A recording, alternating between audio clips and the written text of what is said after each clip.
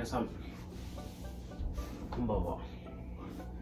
今日はですね、えー、きょんちゃんともえちゃんがこちらに引っ越してきて、えー、初めての、ね、一緒に寝る一緒に寝てみようということで今日はこの子たちと一緒に寝たいと思います。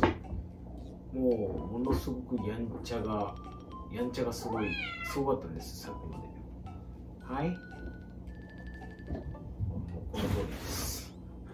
元気がすごいのでこの子たちの、ね、はっちゃけぶりをまた皆さんには見ていただきたいなと。そして、えー、一緒に初めて和室で寝る日です今日は。ということで早速寝ていきましょう。